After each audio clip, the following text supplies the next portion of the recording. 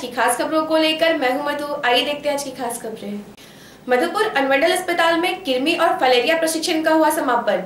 मधुपुर अनुमंडलीय अस्पताल में चल रहे तीन दिवसीय कृमि फाइलेरिया प्रशिक्षण का शिविर का समापन बुधवार को हो गया। इस अवसर पर प्रशिक्षण ले रही सहियाएँ मौजूद थीं। मौके पर सबों को यह बताया गया कि अब गांव-गांव जाकर लोगों को कृमि और फाइलेरिया से बचने के लिए लोगों को जागरूक करें। साथ ही इसकी दवा स्वस्थ व्यक्ति को दें। बीमार, पागल, हार्ट के मरीज़ व बच्चों को न दें। अन्यथा उन्हें एंटी रिएक्शन हो सकता है। साथ ही इसके लक्षण व बचने के उपायों को भी विस्तार पूर्वक बताया गया। आज अनुमंडलीय अस्पताल में शिक्षकों का जो ट्रेनिंग हुआ और सहिया, सेविका सभी का ट्रेनिंग हुआ है। आंगनवाड़ी वर्कर्स एंड टीचर्स सभी का। वो एनडीडी प्रोग्राम के लिए नेशनल डिवर्मिंग डे के लिए, जो कि 10 तारीख को पूरे झारखंड में ये होता है। और इस बार 10 तारीख को शायद छुट्टी है, इसीलिए 9 तारीख को किया गया है। उसमें हर बच्चे, स्कूली बच्चे को दो गोली डी का और एक गोली एल्बेंडाजोल का देना है। और टीचर के सुपरविज़न में और आंगनवाड़ी वर्कर्स के सुपरविज़न में, सैया के सुपरविज़न में और एन के सुपरविज़न में ये लोगों को खिलाना है कितने दिन का ट्रेनिंग था सर ये? वो तीन दिन का ट्रेनिंग था जिसमें कि सभी टीचर्स और आंगनबाड़ी वर्कर्स सेविकाएँ एल सभी कोई आए हुए थे। और 10 फरवरी 9 फरवरी को डिवर्मिंग डे करना है और 11 से 15 तक उसी का मोपअप प्लान है जो उसमें छूट गए हैं उसको फिर मिलाना है। मधुपुर थाना ने चलाया बाइक चेकिंग अभियान। तेईस गाड़ियों से छत्तीस सौ पचास रूपए वसूला। जिला पुलिस कप्तान ए विजयलक्ष्मी के आदेश पर इन दिनों ज़ोर शोर से वाहन चेकिंग अभियान चलाया जा रहा है। बुधवार को भी मधुपुर थाना के समीप सैकड़ों वाहन जाँच किया गया। जाँच में सबों का लाइसेंस, इंश्योरेंस, गाड़ी की कागजात व हेलमेट की जाँच की गई। तेईस वाहन जाँच के दौरान पकड़ाए, जिनसे छत्तीस रुपए जुर्माना वसूला गया। मधुपुर प्रखंड बाल विकास परियोजना ने सेविका को बांटा दवा व ड्रेस। मधुपुर प्रखंड बाल विकास परियोजना विभाग के द्वारा बुधवार को सहिया साथियों को फाइलेरिया व कृमि की दवा व साड़ी का वितरण किया गया। साथ ही सहियाओं को यह निर्देश दिया गया कि इस दवा को पागल, बीमार, हृदय रोगी व दो साल से कम उम्र के बच्चों को नहीं देना है। ये दवा स्वस्थ व्यक्ति को देना है, जिससे उनके शरीर में फाइलेरिया और कृमि के जीवाणु उन्हें रोगग्रस्त न कर सकें। ये दवाई ये कृमि नाशक दवाई है और फलेरिया मुक्त होने के लिए फलेरिया का दवाई है। इसका प्रशिक्षण सेविका सभी सेविका को दिया जा चुका है रेफरल हॉस्पिटल में। और दवाई यहाँ हमारे ऑफ़िस से ही वितरण किया जा रहा है पर सेविका को और फ़ोटो खिंचाने और, और क्या जानना है? किस तरह से डोज देना क्या फ़ायदा होगा है मतलब दो वर्ष से नीचे के बच्चे को ये दवाई नहीं खिलाना है। और जो शारीरिक रूप से मतलब बीमार हैं, काफ़ी दिनों से, कोई गंभीर बीमारी से पीड़ित हैं, वैसा लोग को भी नहीं देना है। जिनको हृदय रोग से जो ग्रसित है, उनको भी नहीं देना है और मतलब 80 वर्ष से ऊपर उसको भी नहीं देना है।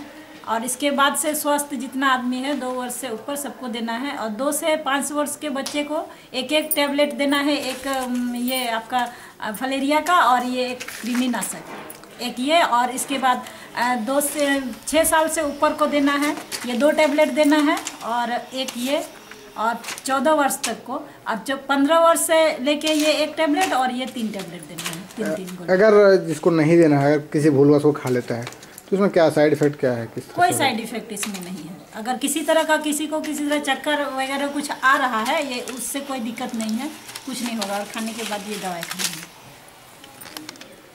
भूमि संरक्षण का डोभा कार्य का 10 फरवरी तक लाभुकों को करना होगा शुरुआत, नहीं तो होगी कार्यवाही।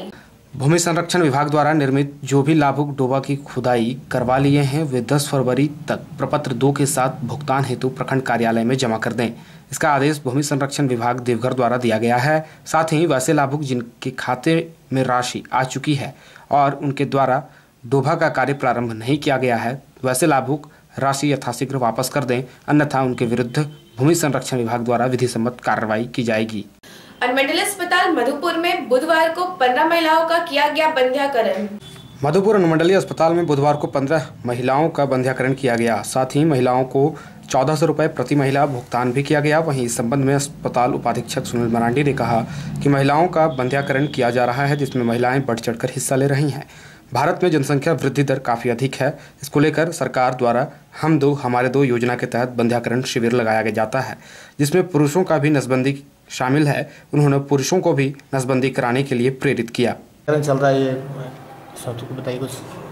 अभी तक साढ़े सात सौ महिला बंध्याकरण हो चुका है मधुपुर में और सात एन हुआ है पुरुष बंध्याकरण। और भी अभी मार्च मार्च तक होना है कैंप बोर्ड में। और कोशिश करेंगे उसके बाद भी एक दिन फिक्स फिक्स्ड अप्रोच में हम लोग पूरा साल भर करते रहें। और कुछ आम जनता से भी एक चाहेंगे कि वो लोग भी अगर फैमिली पूरा हो गया है तो अपना ऑपरेशन कराएँ। ज़्यादा कोशिश करें कि पुरुष नजबंदी कराए तो ज़्यादा फ़ायदा होगा। उसमें कोई फेलियर भी नहीं है और आराम से काम कर सकते हैं। सर यहाँ पे देखने को मिला था कि बेड वगैरह की कुछ कमी चल रही है सर। कितना बेड है बेड फिफ्टी बेडेड हॉस्पिटल है। और कभी कभी पेशेंट थोड़ा ज़्यादा आ जाते हैं इसीलिए थोड़ा प्रॉब्लम होता है। आज सर कितने हो गए हैं? आज अभी पंद्रह ऑपरेशन है आज रजिस्ट्रेशन हुआ है। कब तक ये चलेगा सर? ये मार्च तक चलेगा। उसके बाद भी एक दिन फिक्स हम लोग कर लेंगे पूरा साल ही चलते रहेगा। ये कोई एक दिन फिक्स कर लेंगे जो कि अगले नोटिस में वो दे देंगे। बिजली विभाग द्वारा शहर में पुराने जर्जर विद्युत पोल को बदल कर लगाया जा रहा है नया खंभा पोल लगाने के कारण गांधी चौक में लगी रही घंटों जाम। मधुपुर शहर के विभिन्न इलाकों में बिजली विभाग के, बिजली विभाग के द्वारा इन दिनों बिजली का जर्जर पोल बदला जा रहा है। पुराने खंभे को उखाड़ कर नया खंभा लगाया जा रहा है। बुधवार को गांधी चौक पर दोपहर में खंभा बदला जा रहा था। इसी दरमियान घंटों जाम लग गया। जाम के दौरान कई बड़े व छोटे वाहन फंस गए। जाम में खासकर स्कूली बच्चों को काफ़ी परेशानी हुई। नो एंट्री जोन होने के बावजूद भी बड़े वाहन गांधी चौक में घुस गए। ट्रैफ़िक पुलिस नहीं होने के कारण घंटों जाम में लोगों को काफ़ी जद्दोजहद करना पड़ा। गांधी चौक पर जाम की समस्या कोई नई बात नहीं है। प्रायः जाम होने के कारण दूर दराज से आए लोगों को बाज़ार में खरीदारी करने में भी काफ़ी परेशानी का सामना करना पड़ता है। लेकिन पुलिस प्रशासन द्वारा इस समस्या पर कोई ठोस पहल होती नहीं दिख रही है। आरपीएफ मधुपुर ने रेलवे एक्ट के तहत 16 लोगों को किया गिरफ़्तार। मधुपुर आरपीएफ पोस्ट ने विभिन्न मामलों में रेलवे एक्ट उल्लंघन के आरोप में 16 लोगों को हिरासत में लिया है। सभी से जुर्माना वसूल कर उन्हें छोड़ दिया गया। जामताड़ा स्टेशन के समीप रेल ट्रैक पर मिला अज्ञात शव। मधुपुर रेल थाने में हुआ यूडी का मामला दर्ज। Madhupur Jamtara station up rail line के पोल संख्या दो सौ इक्यावन अब्लिक तीन पाँच के बीच रेल पुलिस ने एक 45 वर्षीय अज्ञात पुरुष का शव बरामद किया है।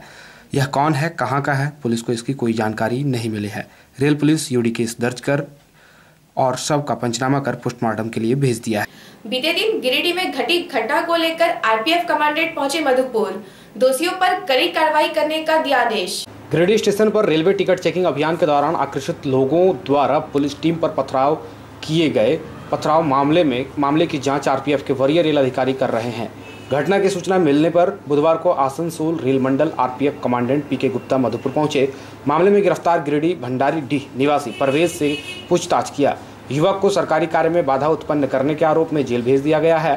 कमांडेंट ने पथराव में जख्मी आरपीएफ जवान एसपी वर्मा के स्वास्थ्य की जानकारी ली है। बता दें, मंगलवार को गिरिडीह स्टेशन पर रेलवे टिकट चेकिंग दल पर दर्जनों लोगों ने अचानक पथराव कर दिया था। पथराव से अफरा तफरी मच गई। जाँच के साथ ही मौजूद आरपीएफ जवान एपी वर्मा जख्मी हो गए। बाद में रेल पुलिस और आरपीएफ ने पथराव कर रहे लोगों को खदेड़ दिया। एक आरोपी को मौके से गिरफ़्तार कर लाई। मौके पर JP Yadav P Jani R Sharma, F Barjo मौजूद थे। बावन बीघा स्थित देवालय में तीन दिवसीय महोत्सव का शुभारंभ बुधवार को हुआ। छेड़खानी मामले में पुलिस ने पथलचट्टी निवासी मोहम्मद वाजिब को लिया हिरासत में। मधुपुर पुलिस ने बुधवार को छेड़छाड़ के मामले में एक युवक को हिरासत में लिया है। युवक वाजिद नामक पथलचट्टी निवासी है, जो ड्राइवरी का काम करता है। पुलिस के अनुसार मामला प्रेम प्रसंग का बताया जाता है। फ़िलहाल पुलिस मामले की छानबीन कर रही है। आज के लिए बस इतना ही। मिलते हैं अगले बुलेटिन में। तब तक के लिए मुझे दीजिए इजाज़त। नमस्कार।